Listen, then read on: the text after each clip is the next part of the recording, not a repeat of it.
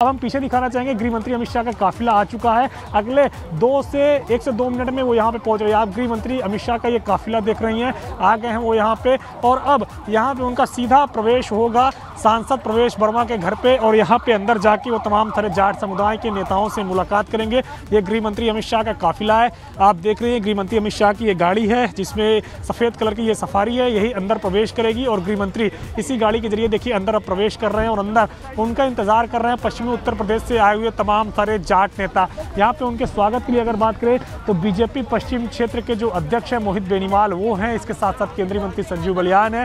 BJP पश्चिम क्षेत्र के चुनाव प्रभारी कैप्टन अभिमन्यु है और जो तमाम सारे अन्य जाट नेता हैं, वो यहाँ पे उनके स्वागत के लिए खड़े हुए हैं। आप तस्वीरों में साफ़ तौर पर देख सकते हैं कि सांसद प्रवेश वर्मा ने उनको रिसीव किया और अब लेकर जा रहे अब ये गेट बंद होगा और अंदर जो गृह मंत्री अमित शाह हैं, वो तमाम सारे जाट नेताओं से जानेंगे कि किस तरीके से उनके समाज में बीजेपी को लेकर के चर्चा है, किस तरीके से नाराज़गी है, किस तरीके से बीजेपी के सबसे कौन सा ऐसा काम काज है जिससे सबसे ज़्यादा जाट समुदाय के नेता खुश हैं? तो ये तमाम सारी बातें गृह मंत्री अमित शाह जानेंगे और यहाँ पे ये कोशिश करेंगे कि तमाम सारे जो लोग हैं, उनको संतुष्ट करके भेजा जाए। क्योंकि एक बड़ा फैक्टर है। अगर आप पश्चिम में देखिए तो ये कहा जाता है कि जाट समुदाय को साधे बगैर कोई भी पार्टी जो है वो पश्चिम में किला नहीं फतेह कर सकती, यानी पश्चिम में ज़्यादा से ज़्यादा सीटें नहीं जीत सकती है। और पूर्वांचल में यही बात ब्राह्मण समुदाय के लिए कही जाती है।